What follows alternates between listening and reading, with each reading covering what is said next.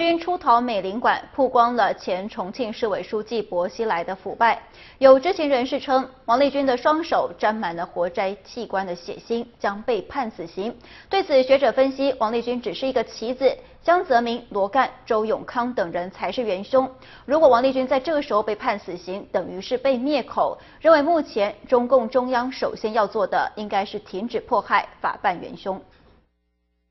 如何处置王立军，一直是国内外关注的焦点。有传闻说，王立军因揭露薄熙来腐败大案而立功，将会将功抵罪。不过，也有人认为，王立军即使是立了功，也不能抵罪，因为王属于叛逃。单凭这一点，中共高层就会把王立军杀掉，杀一儆百。另一个理由是，王立军手上命案实在太多，他的双手沾满了鲜血。他的最大的罪行呢是参与和操纵活着人体器官，特别是活着法轮功学员的器官，这也是人类社会最为凶残的犯罪。这些罪行一定会受到审判的。人类历史上的暴力者大都难以逃脱人类历史的审判，如当年那些屠杀犹太人的纳粹分子，还有南京大屠杀的元凶等等。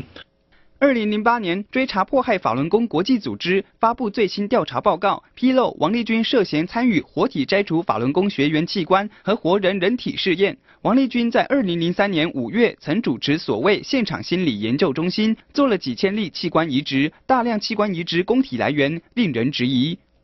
吴建国表示，王立军不过是一个棋子而已，主持迫害法轮功群体灭绝的江泽民、罗干、周永康等才是元凶。江泽民、罗干、周永康这些元凶，他们自以为手中有权就可以施行这些惨绝人寰的迫害，就像当年希特勒如何耀武扬威一样，但他们最终都逃脱不了历史的审判。美国乔治梅森大学教授张天亮表示，王立军涉嫌重大犯罪，判他死刑等于是杀人灭口，因为以王立军的身份，一定知道中共高层更多隐藏的秘密。啊，王立军他的这个犯罪呢，他不只是一个个人的职务犯罪，就是他实际上是一个共产党的集团犯罪。那么王立军呢，作为这个集团犯罪的一份子，他能够了解很多共产党的黑幕，就是包括上层的，啊，薄熙来的呀，周永康的呀，啊，江泽民的呀，